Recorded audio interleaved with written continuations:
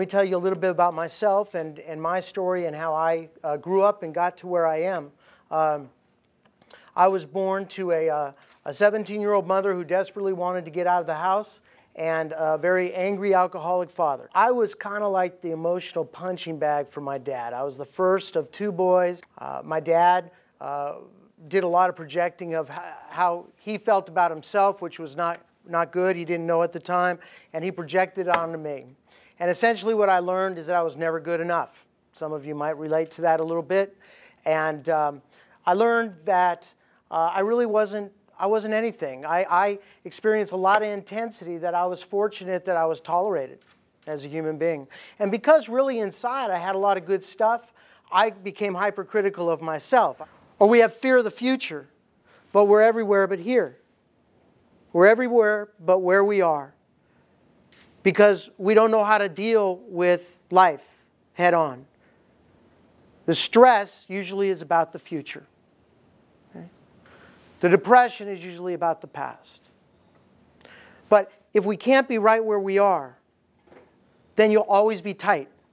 And you'll always be in fear at some, some level because you can't read the future. We all have challenges.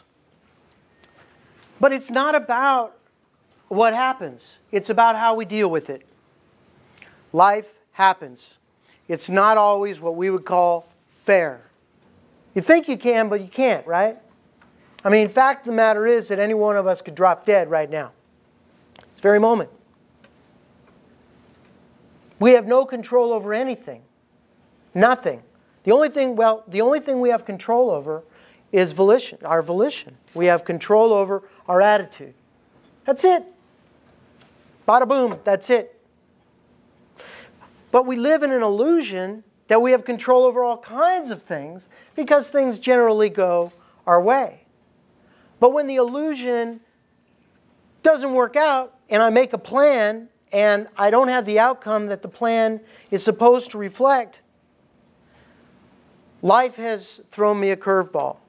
And either I'm terrible or they're terrible or something happened. And we begin to go into a major judgment. Why? Because we're in fear. We're in fear of losing something that we've got or not getting something that we want. History or length of time the, the universe has been around is less than a blink of an eye. The entire human race, not just me or you. So when we think about that, sometimes it's easier not take ourselves so seriously. When is it ever going to happen that everybody's going to like us? And if somebody doesn't like us, how does that translate into I'm not good? My anger was really like a shield to hide myself from people seeing that I believed I was a failure.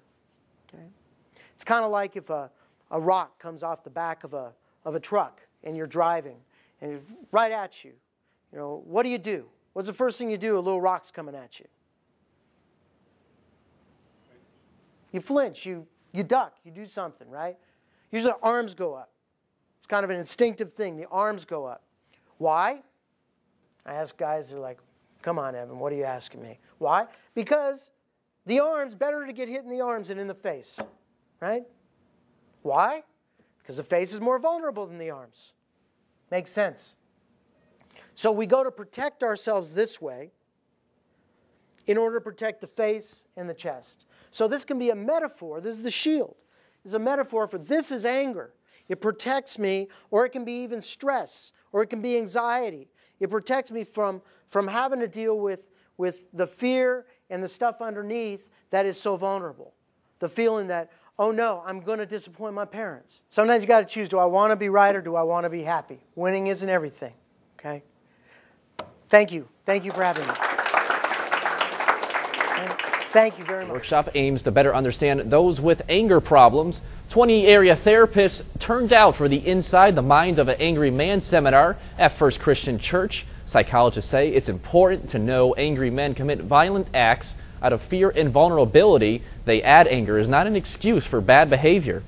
If you understand the mind of an angry man, then you're going to take less personally what they do. To be able to uh, see that this is not necessarily a rational person when they're really out of control and not try to reason with someone who's not rational. Katz says the typical angry man is successful and personable, but his family life is falling apart.